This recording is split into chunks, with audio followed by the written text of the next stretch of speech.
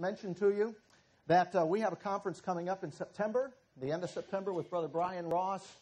Uh, the theme is going to be Our Sacred Trust. There'll be four messages, two on Saturday, two on Sunday morning. So you'll have Friday to travel and get there, and then uh, you'll be free to go home on Sunday afternoon.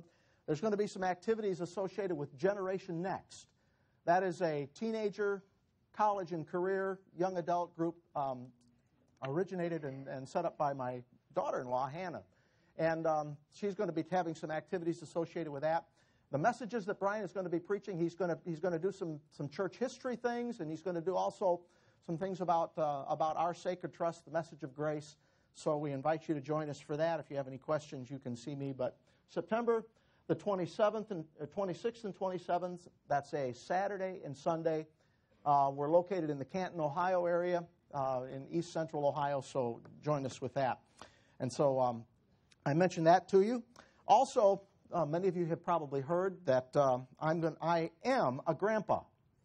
Um, those of you that follow the Facebook thing, um, she's due. Hannah is due in February, but I'm none of this waiting to be a grandpa. I'm a grandpa already. The bun's in the oven, everything's there, and it's cooking. So we're excited about that. No matter what the Supreme Court says or what society says, we know what the what the Scripture says. So we're excited about that. So anyway, we're we're real pleased about that. Okay, you have Acts chapter number eight. We're going to be talking to you this this afternoon or this morning about a study you can understand. There's one thing that we're here we're here in common is that we've come to see some things from God's Word about some things that we can understand the Bible. And there's a great example of where I would like to begin this morning uh, as we come to Acts chapter number 8, where there's the, the touching story of the Ethiopian eunuch. Let's have a word of prayer, though, before we get started. Our God and Father, we thank you so very much for the Lord Jesus Christ. We thank you for the truth of your word, and we pray that as we consider these things, confirmation things to many of us, we, uh, we also pray that these things would be refreshed and renewed in our hearts and rejoiced in as we go forward together in the gospel of the grace of God in this week. And we thank you for all the labor and work that's gone into it, and we just pray for a blessed time. And it's in Christ's name we pray. Amen. The Ethiopian eunuch has just departed from Jerusalem. And he was there, it says that he went there to worship. Acts chapter 8 and verse number 30. And Philip ran thither and heard him read the prophet Isaiah and said unto him, or said, Understandest thou what thou readest? You know, with the, with the eunuch, he had just come from Jerusalem. He had gone to the, to, the, to the center of Israel's religion and Israel's spiritual life in time past. And he's reading, you know, we're going to find out he's reading Isaiah chapter 53. You know, Isaiah chapter 53, it's all about the Lord Jesus Christ. He'd gone to Jerusalem the, the, the capital city, the city of the great king, and missed Jesus Christ. He had gone into the religious, the religious center there. No doubt it, it, was probably after the little flock had been scattered and, and, and uh, missed Jesus Christ. And so he's reading his copy of the scripture, Isaiah chapter 53, and the, the Ethiopian eunuch is reading there, and Philip goes and joins to his chariot and says, Understandest thou what thou readest?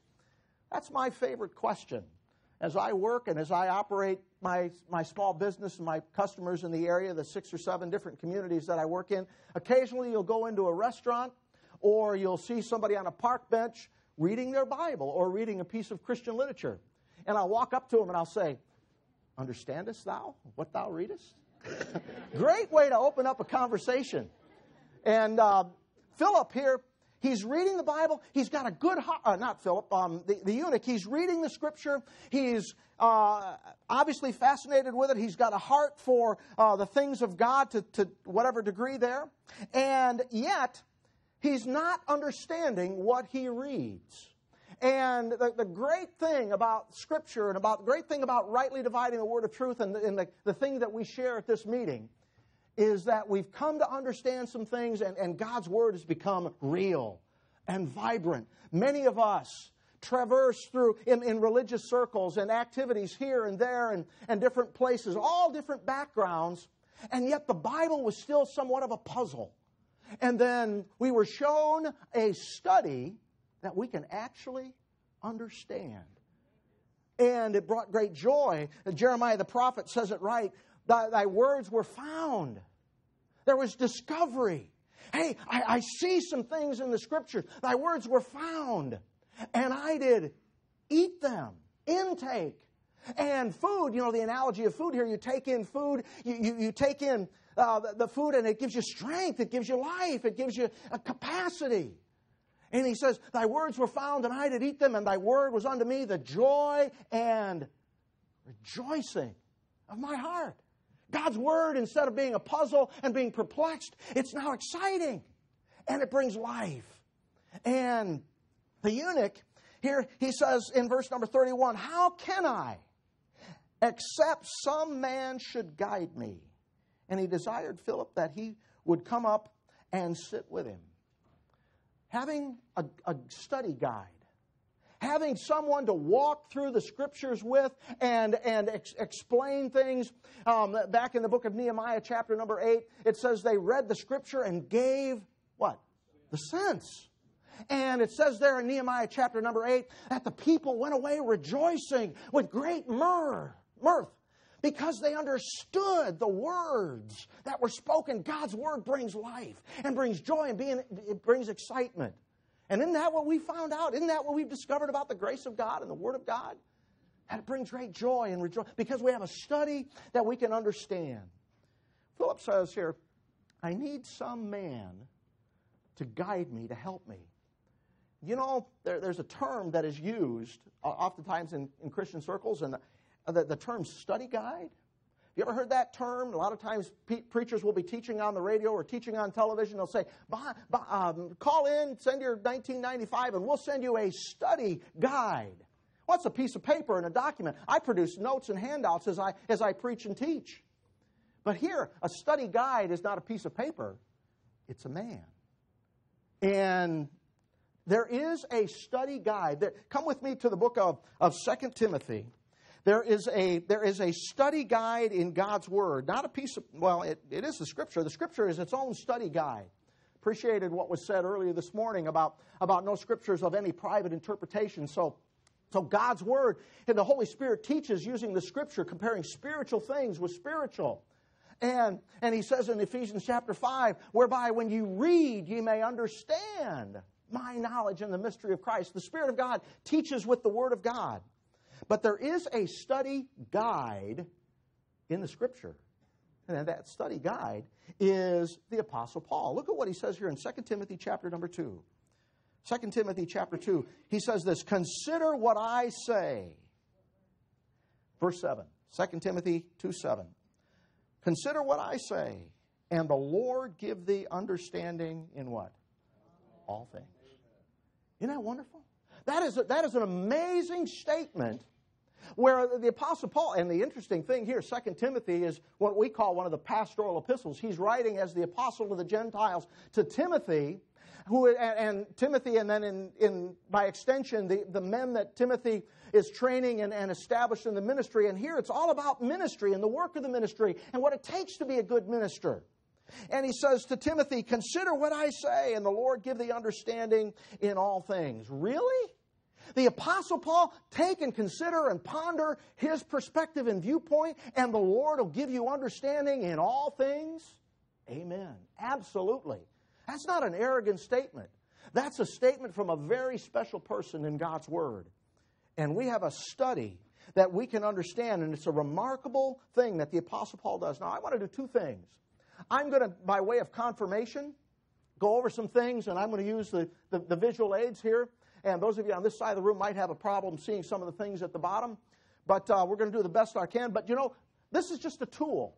Just like the chart is just a tool. The message isn't the, isn't the, the, the catchy visual images, and the message isn't the chart. It's just a tool to help you do what?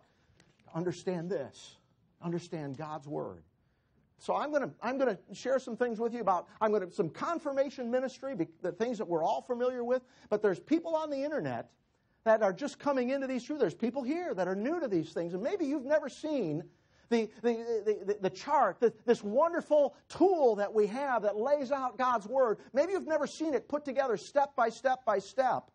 And I remember under, having, under, under, having all the pieces, but watching it unfold and put together gave me some understanding. And for the, first time, I saw the Bible as a whole at a glance. And wow, what joy. And then once you see the big picture, then you begin to go and you begin to look at and mind the details. So I'm gonna, we're going to have a confirmation ministry, and we're going to lay out. And, and, as you look at the chart, you see the basic outline, but there's a lot of things up there you can't see and you can't read. So I'm going to use some some visual things and, and with some large print. Maybe this is just a tool that we can use to um, to to convey the, the, the same information. But then I'm going to show some things to you about the Apostle Paul and what his ministry does in the way of understanding. You're right here in 2 Timothy chapter 2. Look at chapter 2 and verse number 15. The Apostle Paul gives us a key for study, doesn't, us, doesn't he? Chapter 2, verse 15 study to show thyself approved unto God, a workman that needeth not to be ashamed, rightly dividing the word of truth. Rightly dividing the word of truth, not handling correctly. I love that. When you handle the, the new Bibles, sometimes you, you ought to use rubber gloves. Keep your hands clean. That was great. That was great. There's a, there's a, he tells, and, and, Paul is telling Timothy, and then by extension, men in the ministry and res, responsibility, men who have responsibility to teach God's word, that there's the way to, to show yourself approved, an approved workman, recognizing the natural divisions and distinctions in God's word. And of course, the Apostle Paul, he tells us here to rightly divide the word of what? Truth. It's all truth. Chapter 3, Verse 16 and 17 All scripture is given by inspiration of God and is profitable for doctrine and reproof, for correction, for instruction in righteousness, that the man of God may be perfect, thoroughly furnished unto all good, all good works. You need it all. When, we're, when, we, when we study the Bible, we don't, we don't discount any part of it. And recognizing Paul's ministry doesn't discount any part of it. In fact, the Apostle Paul gives light and perspective on other portions of, the, of God's Word. And that's a fascinating thing, how he throws the floodlight of progressive revelation and, and, and the, the, message that was committed to him on all of the Word of God and, and adds light and understanding to the entire, the entire revelation of God in the Scriptures. So go with me, to, if you would, to the Ephesians chapter 2. The Apostle Paul tells us to consider his perspective and his, his viewpoint.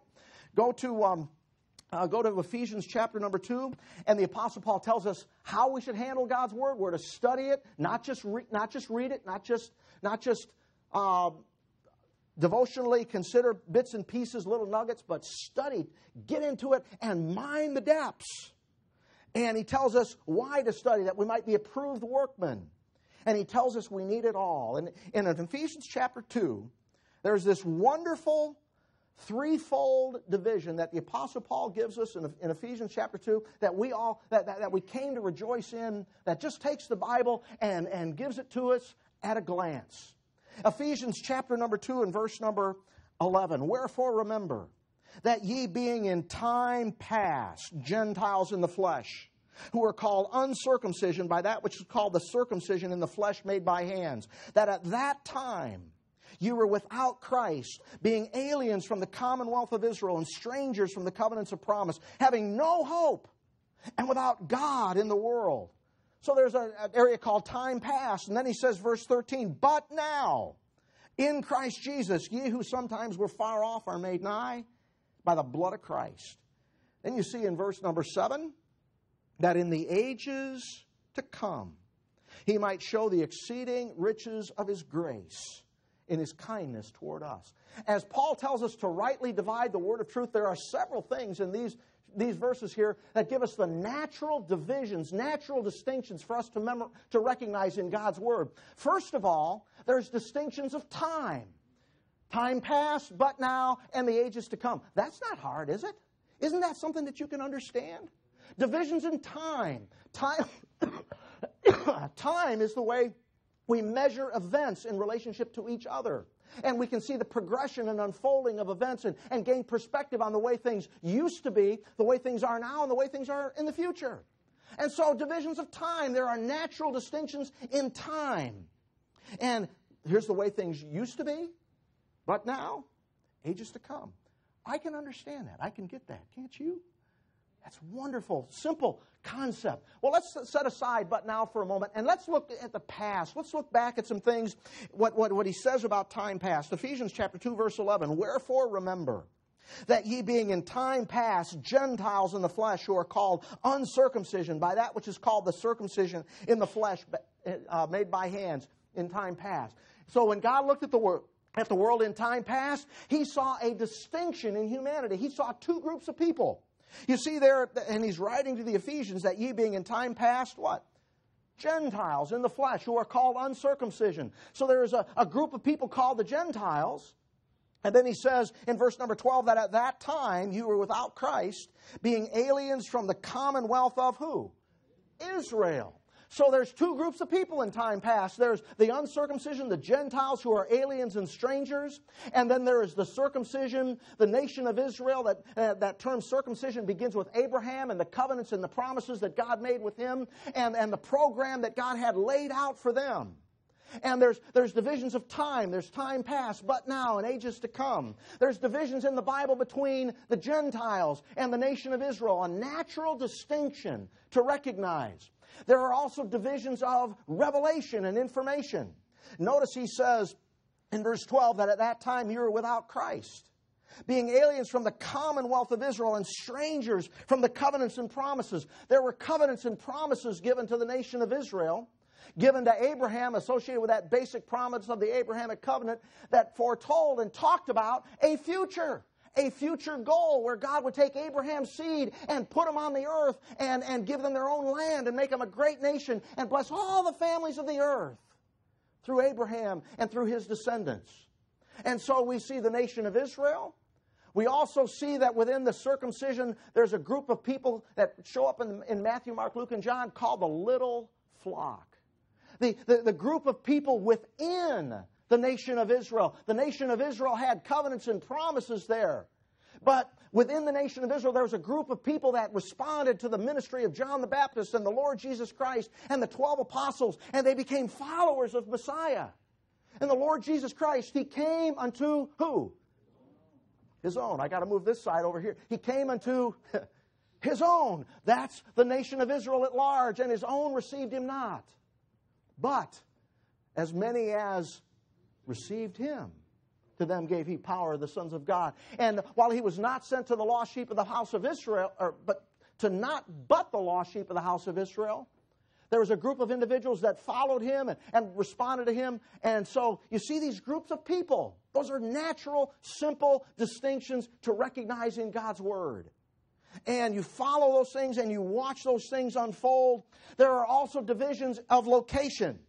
There is the, the purpose for the nation of Israel, and they had a kingdom. They, Abraham promised, was promised a land and a, and a piece of real estate because that nation was going to need a place to dwell on the earth.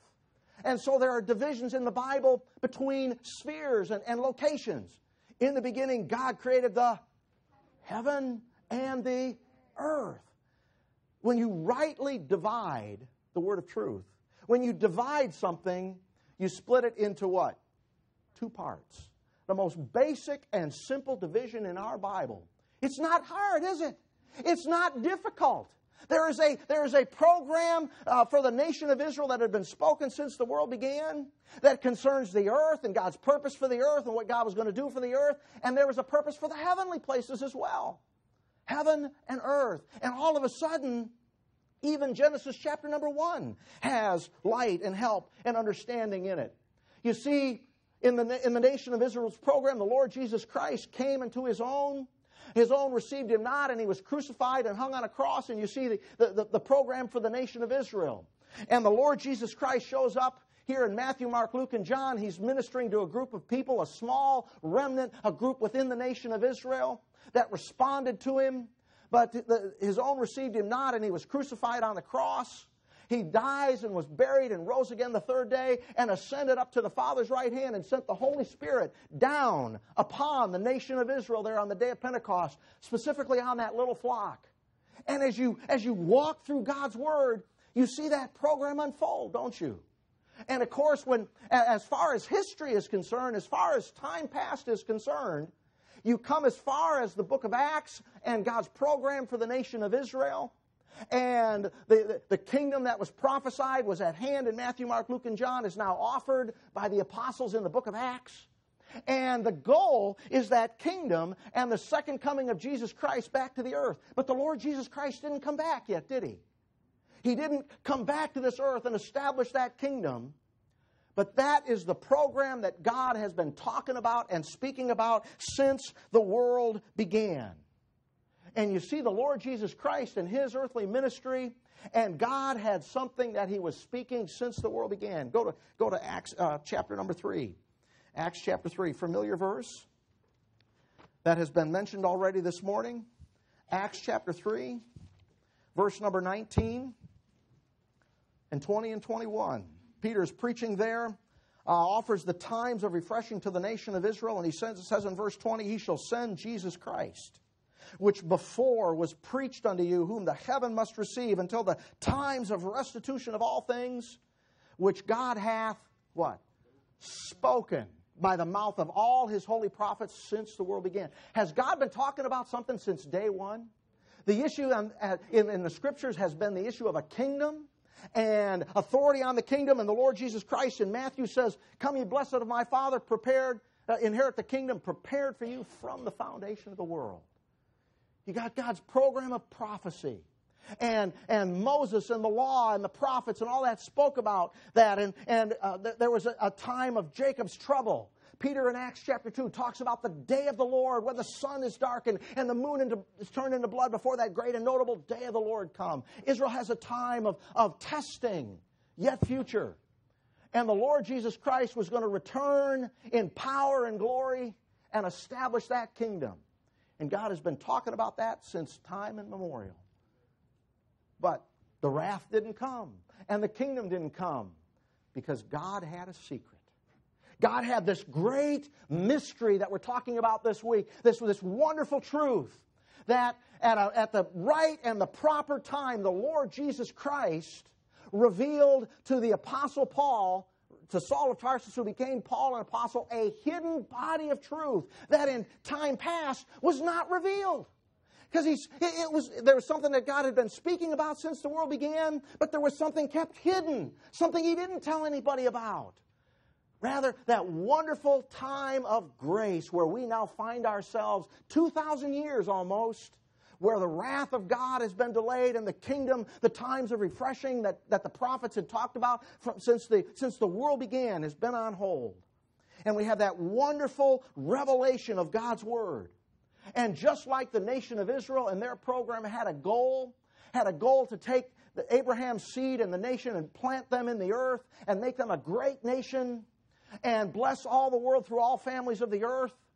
The church, the body of Christ, has a purpose as well, has a goal and a destiny. And the Apostle Paul, in his message, talks about not a coming and a return of the Lord Jesus Christ to the earth, but a return where the Lord Jesus Christ descends from heaven with a shout and takes those of us as believers and takes us to be with him to be with himself in heaven.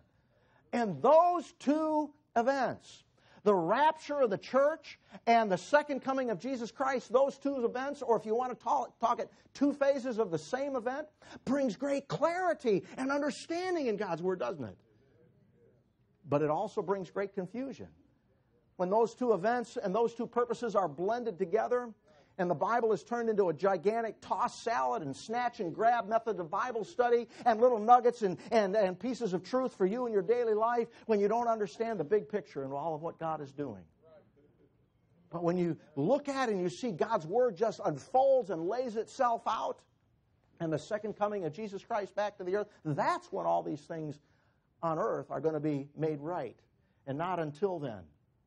The Lord Jesus Christ is going to, after the church, the body of Christ is raptured out, the, the prophetic program will begin, and the Lord Jesus Christ will descend from heaven and he'll ride that white horse and he'll have the armies of heaven following him and he'll come in power and great glory and in vengeance and he'll establish that kingdom on the earth and all of prophecy will be fulfilled.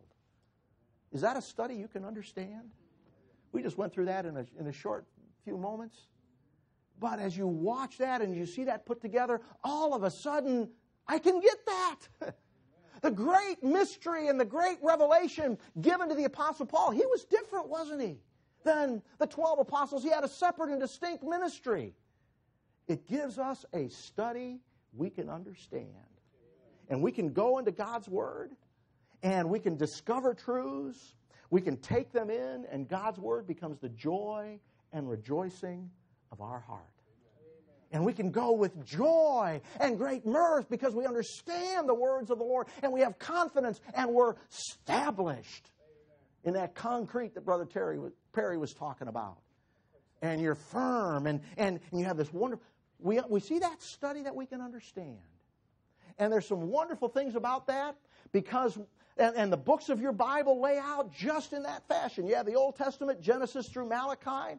You have the books of Matthew, Mark, Luke, and John, and the earthly ministry of the Lord Jesus Christ, the book of Acts, where you have the, the, the, the, the nation of Israel is set aside and, and the new program begins in the middle portion of the book of Acts. You have Paul's epistles, Romans to Philemon, and then the books of Hebrews to Revelation about the ages to come. Your Bible just lays that out for you. That's just the way it unfolds based on the study guide that we're given in Ephesians chapter 2. Now, there's something about that. And the Apostle Paul is, he gives us a study that we can understand. Consider what I say, and the Lord give you what? Understanding in all things. People like us, the foolish things of the world, not many mighty, not many noble are called, but God has chosen the foolish things of the world to confound the things that are mighty. And as we lay aside denominational tradition and, and, and, and perspectives and, and, and we come to God's Word and we let God's study guide tell us how to enjoy not just what God is doing today, but all of God's Word. We see the big picture, but we also see the details. And we have a study that we can understand. And now it's not just Paul's epistles, but it's all Scripture is profitable when it's rightly divided and, and, and, and understood that way. Now, I want to give you one more, I want to do one other thing. Come with me to the book of Colossians. There's something about this and the study that we can understand as a, as a result of this great mystery. And we understand that the Apostle Paul, and we have the verse here in Colossians chapter 1 that you're familiar with, where Paul is discussing his ministry. In Colossians chapter 1, verses 23 4, along in there, talks about the, the, the body of truth that was given unto him. Verse 25, whereof I am made a minister, according to the dispensation of God which is given unto me for you to fulfill the Word of God, even the mystery which hath been hid from ages and generations, but now is made manifest unto his saints. You see there, you see the time element, don't you? You see the revelation element. In time past, in other ages, was this mystery made known? But now it's made manifest, and God wants his saints to know these wonderful news truths. Paul makes an interesting statement there in verse 25. He says, This dispensation of God, this body of truth that was given to me for you, he says, to fulfill the Word of God. And we understand, don't we, that the mystery fills up that great, that, that great unrevealed purpose for the heavenly places and the church, the body of Christ. And now God has a plan, not just for the earth, but for the heavens too. And the Apostle Paul's mes- message, the gospel of the grace of God, completes the Word of God, doesn't it? It fills up that hollow spot. what that word fulfilled means. And, and, if it, and, and it, it makes known the full plan and purpose of God as far as the content goes, right? And now we have, uh, we have all of the, the, the, manifold wisdom of God, and now we preach every man and we teach every man and warning every man in all wisdom. We got the whole package. Amen. We got everything that we need. Yeah. But there's something else about this that not only does the Apostle Paul's revelation give us understanding and complete the content of the Scriptures, but it also completes and, and sheds great light and perspective on all of the Word of God. Not just what God is doing today, but Paul throws the floodlight in time past about some things and gives added perspective and light and information about things in time past as well as the ages to come. I want to show, show and just demonstrate that to you. You're here in Colossians chapter number one. we understand some things about creation, don't we? In the beginning, God created the heaven and the earth. And we have the account back in Genesis about God creating those, the, the, the, heaven and the earth and, and the plant life and, and all of the things of this, of this earth, the material universe, uh, the, the, the stars and, and the, the plant life and the animal life. But we see in Colossians chapter 1, verse 16, some additional information, oh. some additional perspective on what took place back there as God was creating. Verse number 16 For by him were all things created that are in heaven and that are in earth, visible and invisible. Whether they be thrones or dominions or principalities or powers, all things were created by him and for him. Not just the oceans and the trees and the mountains and the sky and the planets. But as God was creating through Jesus Christ, He created some positions of rank and authority some positions. He, the things were created there in verse 16, whether they be, not rocks and trees and, and, and birds and cows and dogs and all that, but thrones and dominions and principalities and powers. Verse number 18, and he's the head of the church, the head of the body, the church, who is the beginning, the firstborn from the dead, that in all things he might have dominion. In all things he might have the preeminence. He says in verse 16, the things that are in heaven and the things that are in earth, visible and invisible. Things you can see and things you can't see. There is visible thrones and dominions and principalities and powers, things that you can see. Can you see some visible seats of governmental authority, thrones and dominions and principalities and powers? Absolutely. Where are those? On the earth. And the old school dispensationalists used to talk about the dispensation of human government, that God established the rule of man and the principle of government. Not really a dispensation, but it's a truth you see back there in the book of Genesis, don't you? But you see some extra. You see, not only are there, is there positions of rank and authority on the earth that you can see, but there's some positions in the heavens that you can't see because God now has a purpose that He's revealing, not just to reclaim the earth, but to reclaim the heavens as well. Added information on all of the Word of God. Wonderful perspective that's there as you see that. Added perspective and light and information. It's amazing as I was thinking about these things. Come with me, if you would, to the book of Romans. Romans chapter number one. How, and I began to go through Paul's epistles and just look for things, look for people, look for events, look for topics spoken about in time past or in the ages to come that the Apostle Paul, not just in his revelation, talks about what God's doing with us, but talks about and adds more information to even things in Israel's program. In Genesis chapter number in Genesis chapter number five, as, as we think about the issue of creation, for by one man sin entered into the world, and death by sin. You know the Apostle Paul says more about Adam than anybody else in the Bible? The Apostle Paul refers to Adam either directly by name or by the, the first man or by one man about 16 times in his epistles. Just, just few references. Job talks about um, uh, that, that I, I cover my sins as Adam. You see Adam mentioned back in Genesis and Adam and Eve and the creation back there. You see a reference in the book of Jude, for example. Jude, the seventh from Adam. You see Adam mentioned in the genealogy of the Lord Jesus Christ. But Paul, the, the key, who is Adam? Who is Adam? He's the first man. And the Apostle Paul says more about man, his nature, and his makeup, and his character, and the problem with man. You, you see it demonstrated. Don't you see the problem with man demonstrated all through the Bible? But Paul brings extra information and more information about the nature it's, the, it's an old sin nature, and we by nature were children of wrath, even as others. And Paul has the first man came death, the, the, the second Adam came life. In, in Adam all die, in Christ all are made alive. And there's all this, Paul adds information about Adam. You're here in Romans chapter number 1, verse 28 as Paul talks about the, the, the, the, the, Gentiles in time past, he says in verse 28 even as they did not like to retain God in their knowledge, God gave them over to a reprobate mind to do those things which are not convenient. What did God do before he called out Abraham? He gave up the Gentiles. There's Paul showing some light on the book of Genesis and the nature and the character of life and the world back then. The earth was full of violence, and every imagination of man's heart was only evil continually. You see all those things spelled out. But now you find out about their, their idolatry, and God revealed himself in creation, and they didn't like to retain God. And Paul has extra light and perspective, even back there on the book of Genesis. We see that the lost, go to Acts chapter number 2, or Romans chapter 2 and verse 16.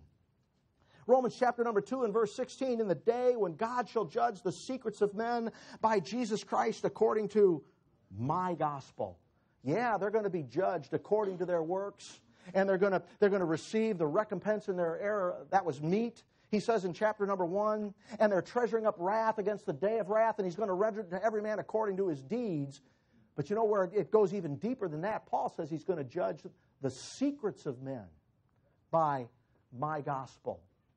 And it's not so much the issue of Christ dying for our sins, but the essence of Paul's gospel is that it's a faith alone message.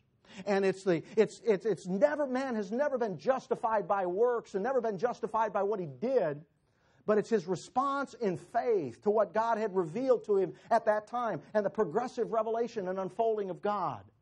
So we see some things that the lost are going to be judged by Paul's gospel. There's the great white throne, ages to come. You see in Romans chapter 3, and we won't take time because Fred did a wonderful job talking about the cross. And Paul takes this prophesied event and he throws the floodlight of revelation about the reconciliation of the world and the, the, the, the everyman aspect of Paul's ministry now and the everyman Savior and an everyman ministry because he gave his life a ransom for all to be testified in due time. And Paul throws the floodlight of revelation on the cross and the reconciling of the world. And God was in Christ reconciling the world unto himself, not imputing their trespasses unto them. And Paul throws the floodlight of progressive revelation on the issue of the cross and, and the death, burial, and resurrection. It's amazing how many of these things are in the book of Romans. We see Paul in Romans chapter 3 and chapter 4 dealing with the issue of time past justification and how Abraham is an example. Verse 25 of chapter 3 Fred talked about the verse that the payment was made. And, and God set forth the Lord Jesus Christ for the remission of sins that are past. And God was passing over the sins of time past because He knew Calvary and a payment was coming. So the means whereby God could forgive people in time past was still through the, the, the crucifixion. And then we see in Romans chapter number four, Abraham as a dual father and an example of faith for all. And how Abraham just believed a message that God told him and God counted it to him for righteousness. Oh, we've been talking about it, and it's been mentioned the issue of the gospel. The issue of, of the, uh, the faith alone gospel that Christ died for our sins and was buried and rose again the third day. Yeah, that's a fact. But how do we appropriate it? Not by our good works, but by resting in the provision that God has made or, and, and the faithfulness of God. Great is thy faithfulness. And Abraham in chapter number 4, verse 3, just believed what God told him and God counted it to him for righteousness. That's how we're saved today. We rest in the provision and the faithfulness and the, and the, the, the, the, payment that God has made for our sins. And Abraham is discussed here. And his faith was counted unto him for righteousness before he was circumcised in verse 10. And he receives the sign that he might be a, a father for the, the nation of Israel. But then he says in verse 12, and the father of circum, the circumcision to them who are not of the circumcision only, but who also walk in the steps of that faith our father Abraham, which he had yet being uncircumcised. Well, Abraham was walking in faith when he was uncircumcised, but how was he walking? He was walking recognizing he can't do it. God's got to do it. And Abraham's salvation is an example of time past justification, not on the basis of the law, and but on the basis of the promise. We understand from the Apostle Paul the issues of Moses and the law. How much does Paul talk about that law? It was a schoolmaster, it was a ministration of death and condemnation. The letter killeth. But the Spirit giveth life, and, and instead of the law being a means whereby we can, we can somehow overcome that nature that we receive from Adam, the law actually makes it what? Worse. The strength of sin is the law. And the law brings me into captivity to the law of sin which is in my members. So the Apostle Paul gives us light and information on the law. He gives us information in, the, in Romans chapter 8 and 9 and 10 and 11 about Abraham and Isaac and, and uh, Ishmael. He talks about Ishmael, born after the flesh in the book of Galatians, and Jacob, and, and not, it was Jacob and not Esau as the channel of blessing through which the promise would go. Paul throws more information about all those things. In Romans chapter 8, we learn, go to Romans chapter 8, verse number 23. We're teaching through Romans in our study, in our um, fellowship. And the Apostle Paul gives perspective on light uh, on life here and now. I call it sonship perspective, where the Lord Jesus Christ in the Garden of Gethsemane, facing the trial and facing the difficulty and the cup that he was supposed to drink from the Father, he, he prays in agony and he says, If it be possible, let this cup pass from me. And what does he say? Not my will, but thine be done. And the Lord Jesus Christ isn't just throwing up his hand and saying, I'll let you work it all out. I don't know what the plan is. The Lord Jesus Christ knew what the plan was. And that's a statement of resolve and determination that the issue is not my comfort and convenience, but what we're going to accomplish in the plan, because he knew the plan.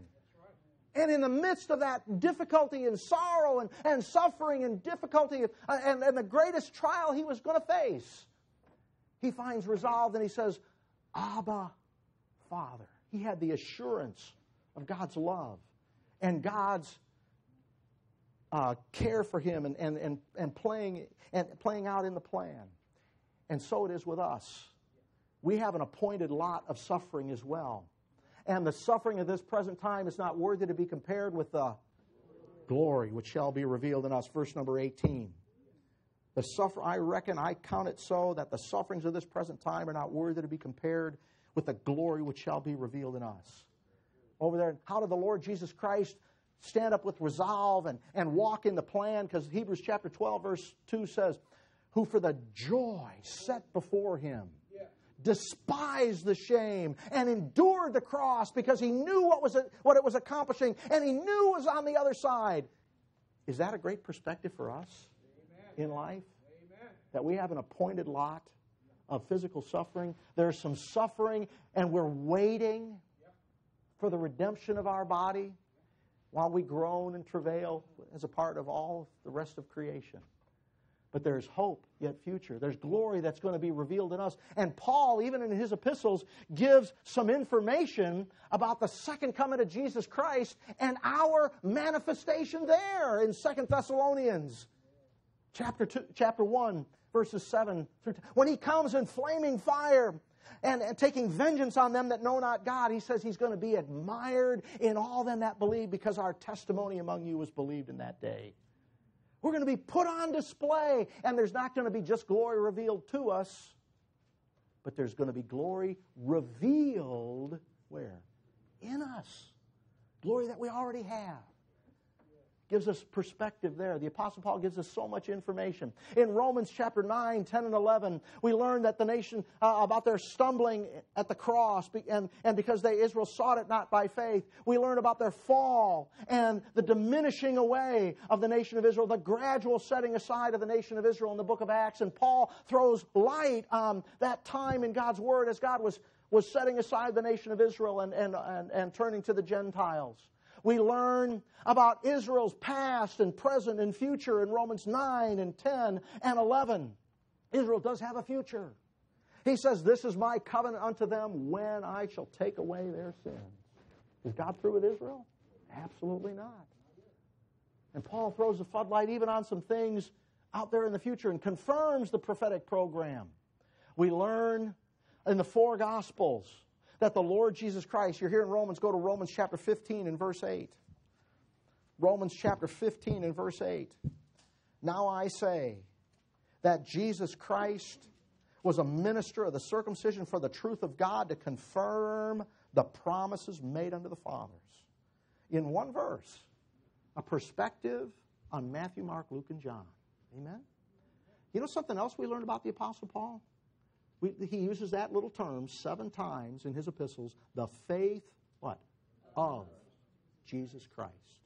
We learn that the Lord Jesus Christ, and we learn in Philippians chapter 2 that we're to have the mind of Christ, who was in the form of God and thought it not robbery to be equal with God. He was beloved of the Father. He could cry, Abba, Father, because he was one with the Father, that he made himself of no reputation and took upon himself the form of a man.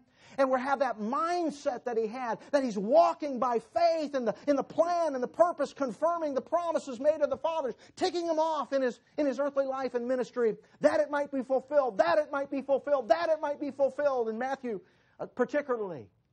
And, and even on the cross, he's ticking off the Bible prophecies. That, that he, he prompts them, he cries out on the cross, I thirst. Prompting those to go and get the reed and, and give him the drink that he wouldn't take earlier, that all things might be accomplished, and he gave up the ghost. The Apostle Paul throws floodlight. We learn about the faith of Jesus Christ and his, his adherence to the plan of the Father. We learn in the book of Galatians, chapter 2, and verse 9, 7 to 9, really, we learn about the ministry of Peter and the little flock and Peter's gospel of the circumcision. And Paul throws floodlight back on the, the, the ministry of the Lord Jesus Christ there. We learn, come over to 1 Thessalonians, 1 Thessalonians chapter 5. 1 Thessalonians chapter number 5. And we also learn this in chapter 1 about the issue that we've been delivered from the wrath to come. But the Apostle Paul even throws some floodlight on the day of the Lord. He says down in verse number 9 For God hath not appointed us unto wrath, but to obtain salvation by our Lord Jesus Christ. We learn that the church, the body of Christ, is not to be subject to that time on this earth where the, the, the, the prophetic program resumes. But we learn that the day of the Lord, he says, we're, we're children of light and children of the day. We are not of the night nor of the darkness. Light and darkness are incompatible, aren't they? And the day of the Lord, Paul throws floodlight back on it. It's a day of darkness and a day of gloominess. But we're not children of the dark, children of the night. We're children of the day. He throws perspective on things in the past. In Second Thessalonians, he gives us extensive detail about the rise and the fall of Antichrist. Go to Second Thessalonians, chapter number 2. 2 Thessalonians, chapter number 2, verse 13, as he talks about all those events that transpire here on this earth. He says in verse 13, But we're bound to give thanks always to God for you, brethren, beloved of the Father because God hath from the beginning chosen you to salvation through sanctification of the Spirit and belief of the truth. He emphasizes it again that we've been delivered from all of that time as it, as it transpires here on the earth. You know, as you, as you lay that out, the, the basic chart is there, isn't it? But the Apostle Paul gives us so much more light and information and, and perspective on all of the Word of God, not just what he's doing today, but even things in the ages to come and in time past. And it's, it's a wonderful privilege and, and perspective that he gives us there. We learn the issue of prophecy in the book of Romans. Come back to Romans, chapter number 15. Romans, chapter number 15. It's amazing how much of this is in Romans. After we read in Romans chapter 15, Romans chapter 15 about the, the ministry of Jesus Christ. He says that the Gentiles might glorify God for his mercy.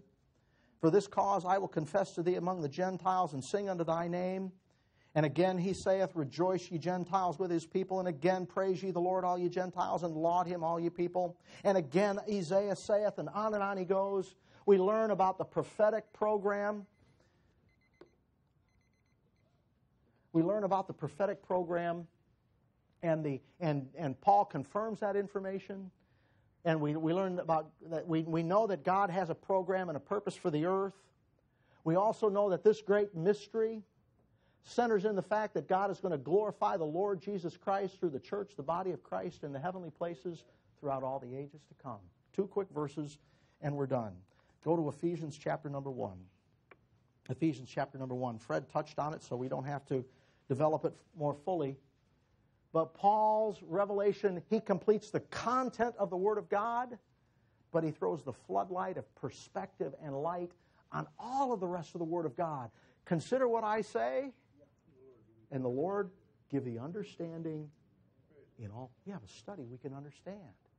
We can come to God's Word and see some tremendous things. Ephesians chapter number 1, verse number 9 having made known unto us the mystery of his will, according to his good pleasure which he hath purposed in himself, that in the dispensation of the fullness of times he might gather together in one all things in Christ, both which are in heaven and which are on earth, even in him. We learn through Paul's message that he created those positions of rank and authority. He had a reconciliation program for the principalities and thrones on the earth and for the principalities and powers and the, the positions of rank and authority in the heavens. And it all centers in the Lord Jesus Christ and Him being glorified in all things, that He might be all in all. Isn't that wonderful? Paul is, is a tremendous study guide. we don't need to apologize ever Amen. for emphasizing and magnifying not the man, but what? His ministry and his office. Because he's the key in revelation in, in revealing the things of God's word. Well, I got one more thing I want to show you. Go to 2 Timothy, chapter number 3. Paul, as he draws his written revelation to a close, as he writes to Timothy, we do have a study guide. We have a study that we can understand because we have a guide to walk us through, a guide that is, that, has, that is established by God Himself in the Scripture.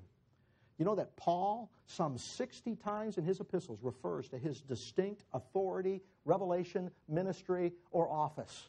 It's there. The, the, the, Scripture teaches it very clearly and very plainly. We have a study we can understand. We have God's study guide to follow we have the Apostle Paul. Look what he says, 2 Timothy chapter 3, verse 14. We'll conclude.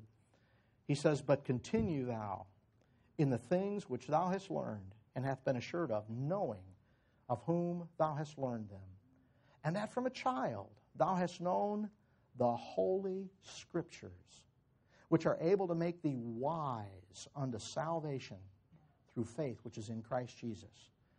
Even the Old Testament has divine wisdom in it, doesn't it? And the salvation here is not, your, your, your soul is already saved. It's salvation from what? The perilous times that we face, where evil men and seducers, the wrong kind of guides to follow, are going to wax worse and worse. What's his answer? Continue in the things that you've learned. And the scriptures will make you wise unto salvation. The Apostle Paul in the grace life, he deals with issues of marriage and family and divorce and remarriage. He deals with the issue of, of, of, work life and your godly life, your, your, your, your service as you serve the Lord. There's a, there's a full message here that will thoroughly furnish us unto all good works. Amen? Amen. And it's a study we can understand. We can get it. God put it right down where you can reach it. The problem is, Satan doesn't want people to understand it, do they? and he clouds it and he desires to hide man from the simplicity that's in Christ Jesus. God help us. He has. He has. We don't have to pray God. God we just walk in the light that He's given to us. Amen. Father, we thank you for your goodness and your grace. We thank you for your word. We thank you for the, the confidence we can have in it. We thank you for the gospel that we can believe, that we pass from death unto life, from sons of Adam to new creatures in Christ and be a part of what you're doing. And we thank you that, that you desire all men to be saved and come into the knowledge of the truth, that you have a pattern for study, you have a guide to follow, and as we consider, you will give us understanding in all things. What a joy. We thank you. It's in Christ's name. Amen.